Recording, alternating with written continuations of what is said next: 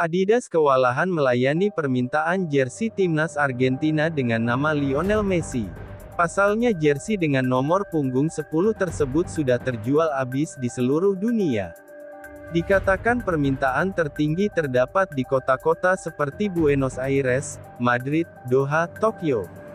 Tidak masalah ukurannya, dari ukuran terkecil hingga terbesar, untuk pria atau wanita, seluruh store kehabisan stok.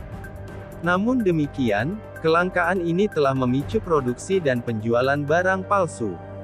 Adidas menjelaskan bahwa tidak mungkin untuk meningkatkan produksi dalam semalam untuk mengisi kembali produk yang mereka tahu akan terjual dengan cepat.